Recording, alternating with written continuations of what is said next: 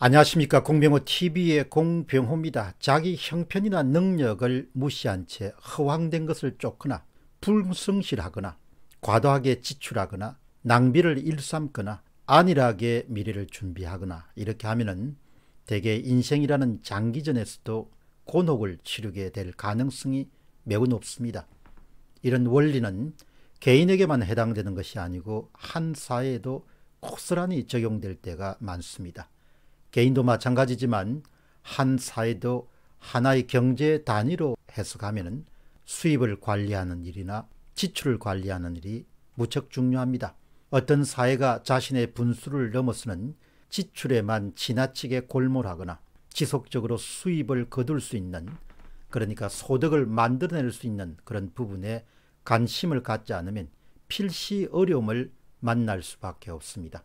4월 4일자 한국경제신문에는 수입관리와 관련해서 의미 있는 그리고 눈여겨볼 만한 그런 기사가 몇 가지 들어 있었습니다.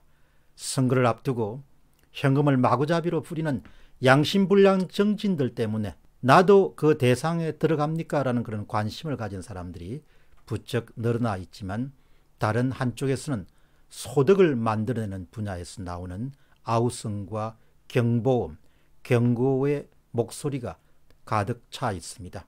그런 목소리는 한국 사회가 당면하고 있는 위기 신호로 우리가 받아들일 필요가 있습니다. 첫 번째 상황은 카운트다운에 들어간 자영업 부채입니다. 코로나19 사태가 실물 위기로 나타나면서 카드사의 위기감도 고조되고 있습니다. 이미 지난 1월 달에 코로나19 사태가 발생하기 전에 자영업은 거의 초토화되어 있는 그런 상황이었습니다. 다만 코로나19가 그런 초토화 상황을 좀 더 악화시켰을 뿐입니다. 카드사들은 6개월 이후를 정말 걱정하고 있습니다. 돈을 갚지 못하는 소상공인이 급증할 경우를 걱정하는 그런 카드사들이 늘어나고 있습니다. 2019년 말 기준으로 국내 전업카드사의 카드론 규모는 총 46조입니다. 대부분은 카드론은 중소자영업자들이 갖고 있을 가능성이 높습니다. 카드론 사용자의 60에 70%는 다른 은행과 제2금융권에서 추가 대출을 받은 신용등급 4등급에서 아, 6등급에 속한 다중채무자들입니다. 카드업계 장계자는 이렇게 하소연합니다. 연체율이 오르고 늘어난 대손 충당금으로 이익이 줄면 올해 말에 적자를 내는 카드사가 등장하게 될 것입니다. 다중채무자의 연체율 증가는 제2금융권과 시중은행 등으로 전이되는 특성이 있다는 점에서 위협적입니다. 코로나19 사태가 장기화되면 이미 최저임금 급등 등으로 큰 타격을 받았던 자영업자들의 부채 문제가 수면 위로 떠오르게 될 것으로 봅니다. 또 다른 한 가지 현상은 한계 상황으로 내몰리는 항공업체와 그 밖의 기업들입니다. 4월 3일 날 항공업 관련 업계에 따르면 국제선의 경우에 1월과 비교해서 가동률이 무려 92%가 폭락했습니다. 그러니까 현재 국제선 가동률은 8%에 머물고 있습니다. 대한항공의 총부채는 22조 원입니다. 이것을 월 평균으로 환산하면 매달 4천억 정도를 갚아야 됩니다. 들어와야 할 돈은 들어오지 않고 부채는 계속해서 늘어나는 어려운 상황에 처하게 됐습니다. 국내의 9개 항공사가 올해 리스료만으로 부담해야 될 것은 총 1조 5천억 정도에 해당합니다. 한국 항공사들이 보유하고 있는 총 비행기 대수는 374대입니다.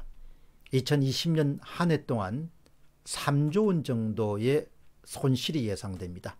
374대 가운데서 지금 324대가 날지 못하고 지금 육지에 있습니다. 코로나19가 장기화된다면 2020년 연말에 대한항공의 부채 비율은 1500%를 육박할 것입니다. 그리고 국내의 다른 저가 항공사 LLC는 부채 비율이 4000%에서 5000%로 육박할 것으로 전망됩니다. 결국 정부가 막대한 자금을 투입하지 않으면 국적 항공사들을 포기해야 될 어려운 상황에 처하게 됩니다. 비단 항공업체뿐만 아니라 코로나19가 장기화되면서 정부가 자금 공급을 늘려야 될 그런 기업들이 부쩍 늘어나게 될 것입니다. 그러니까 정부의 자금 공급으로 살려야 할 기업들이 크게 늘어날 수밖에 없는 상황으로 지금 가고 있습니다. 이번 위기를 헤쳐나가는 그런 과정에서 유동성 위기를 겪는 기업들은 일단 살려야 된다는 그런 원칙보다도 대기업은 시장 상황에 따라서 자체적으로 자금을 조달해야 되고 정부는 그 밖에 소상공인들과 중소기업을 우선적으로 지원하겠다 이런 원칙이 설득력을 얻는다면 그리고 정부의 정책 기조로 선택된다면 아마 도산 위기에 내몰리게 되는 한국의 대기업들이 부쩍 늘어나게 될 것으로 봅니다. 우리가 주목해야 될 것은 코로나19 사태 이전에 소득을 만드는 한국의 소득원이 상당한 어려움을 겪어왔다는 점입니다.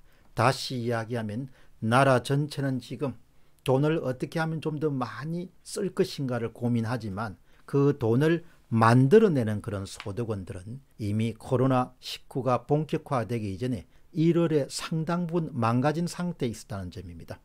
소득을 만드는 원천 자체가 흔들리는 상황임에도 불구하고 어떻게 하면 더 많은 공짜를 줄 것인가에 온 정신이 빠져있는 한국 사회를 보면 걱정스러움을 갖지 않을 수가 없습니다. 아무튼 이번 총선은 유권자들이 현 정부를 평가하고 또 진단하고 판단하고 그리고 책임을 물을 수 있는 거의 유일한 기회입니다. 많은 유권자들이 지난 3년간 소득은 소득을 만들어내는 원천을 유지하고 보수하고 발전하는데 문재인 정부가 얼마나 효과적으로 대응해 왔는가를 냉정하게 보셔야 됩니다. 그리고 그것을 기반으로 해서 향후 2년 동안 문재인 정부가 진정으로 한국 사람들의 지갑을 두둑하게 만들어 줄 수 있는 그런 의지와 의욕과 계획과 능력을 갖고 있는 것을 유권자들이 엄정하게 평가하셔서 선택을 하셔야 될 것입니다. 그렇지 않고 얼마간의 돈에 눈이 가려서 잘못 선택하는 그런 우를 범하지는 않아야 될 것입니다. 현명한 유권자들의 정말 지혜가 어느 때보다도 절실히 필요한 그런 시점입니다. 공병호 TV의 공병호였습니다. 감사합니다.